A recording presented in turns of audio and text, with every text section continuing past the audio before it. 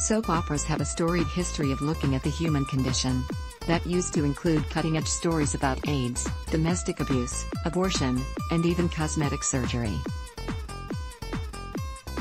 In their glory days, soaps pioneered these issues on daytime television. Soaps, a storied past with social issues however, these days, The Young and the Restless, The Bold and the Beautiful, General Hospital, and Days of Our Lives seem to have far more misses than hits regarding these public service announcements and social issue stories.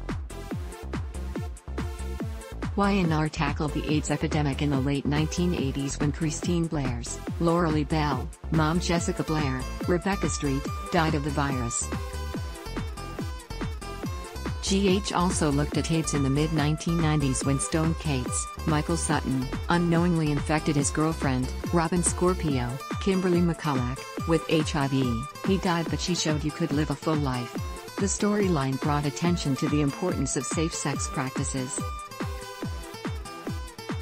even cosmetic surgery got the daytime treatment when Y&R's Catherine Chancellor, Jeanne Cooper, had a facelift in 1984. Bipolar disorder also took center stage when GH's Sonny Corinthos, Maurice Benard, dealt with it and later his son, Morgan Corinthos, Bryan Craig.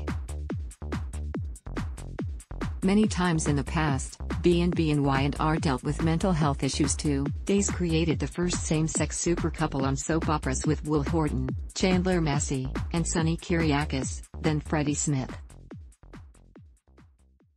B&B featured the first transgender character in the form of Maya Avant, Karla Mosley, who went on to marry Rick Forrester, Jacob Young. They had a daughter, via a surrogate but later divorced.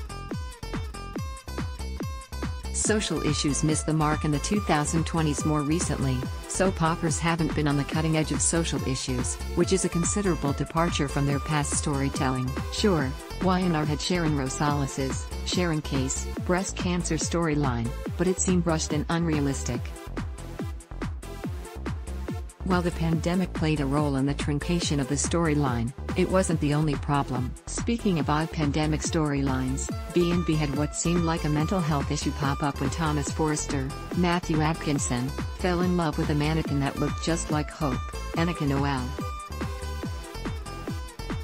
However, that ended up being a medical issue due to a subdural hematoma. He had surgery and poof, he was good as new, no therapy needed. Now, Eric Forrester, John McCook, has erectile dysfunction, but again, the storyline misses the mark with everybody jumping to conclusions and judging Eric for his choices. On days, they're consistently missing the mark with Theo Carver's autism since Cameron Johnson took over the role.